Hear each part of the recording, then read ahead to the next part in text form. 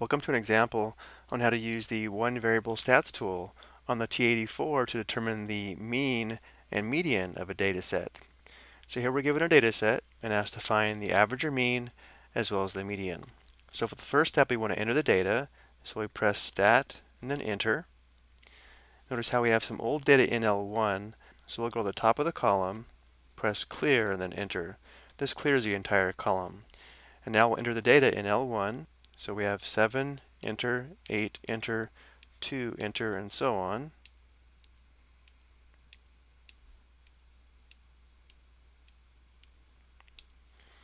Now we want to select the one var stat tool, so we press stat, right arrow once to calculate, and notice how the first option is one var stats, which is what we want. So we can press 1 or enter since 1 is already highlighted. So I'll go ahead and press enter. Now this is the screen for the newer version of the 84. I'll show a screenshot for the older version in just a moment. Notice how here it's asking for the list. This is where the data is located, which is L1, so this is correct. If, for example, the data was in L2, we would want to enter L2 by pressing second and then number 2. We don't have a frequency table, so if we arrow down, we want to make sure there's nothing here. If there is, we just want to press clear or delete and then enter. And now we press enter to calculate.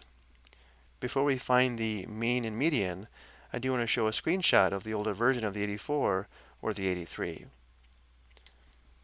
On the older 84 or the 83, once you select one var stats, it shows on the home screen. And if the data set is in L1, this L1 here is optional. You can just press enter, but if the data was not in L1, we'd have to indicate the location of the data by entering the correct list. And then once we press enter, the screen would look like this, just like the newer version. And so x bar is the mean. So there are two decimal places. The mean or average would be approximately 4.78. To find the median, we have to arrow down. So MED stands for median, so the median is 3. So our median is 3, and the mean is approximately 4.78.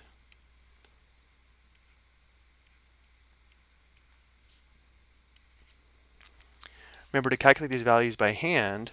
To find the mean, we'd find the sum of the data values and divide by the number of data values. Here, because we have a total of 9 data values, we'd add the data values and divide by 9. To find the median, we'd have to first order the data from least to greatest, and then find the data value in the middle.